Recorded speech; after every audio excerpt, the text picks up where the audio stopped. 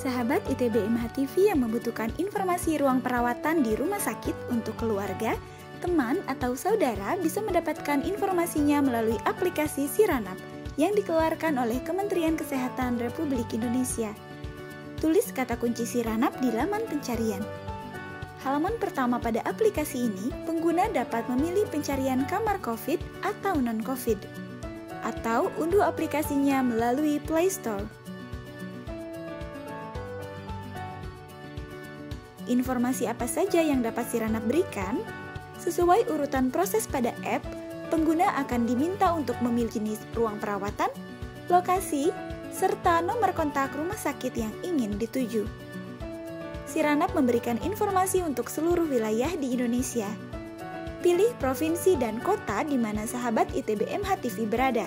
Siranap akan memberikan informasi peta serta nomor telepon rumah sakit di wilayah tersebut. Dalam video ini, kami akan mencontohkan pencarian di wilayah Jawa Barat, khususnya Kota Bandung. Pengguna dapat melihat peta lokasi rumah sakit yang dituju. Nomor kontak terletak di bawah nama dan alamat rumah sakit. Aplikasi ini memberikan informasi ruang perawatan untuk rawat inap pasien sakit, melahirkan, dan anak-anak serta bayi yang memerlukan perawatan intensif. Contoh, ruang perawatan di Rumah Sakit Dr. M. Jamil, Kota Padang.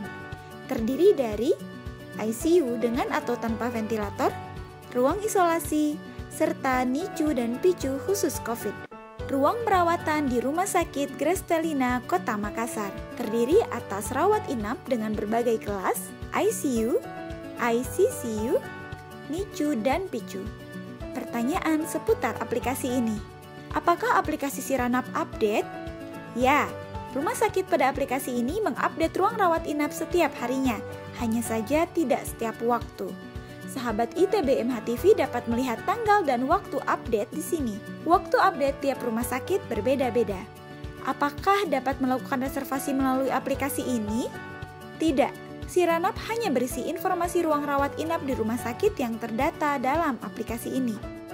Satu hal yang perlu diperhatikan, bahwa aplikasi ini tidak menggambarkan situasi antrian pasien yang telah berada di rumah sakit, terutama pada saat terjadi lonjakan jumlah pasien, sehingga keputusan penerimaan pasien dipegang oleh rumah sakit. Oleh karena itu, jangan lupa untuk menghubungi call center rumah sakit untuk mendapatkan informasi lebih detail.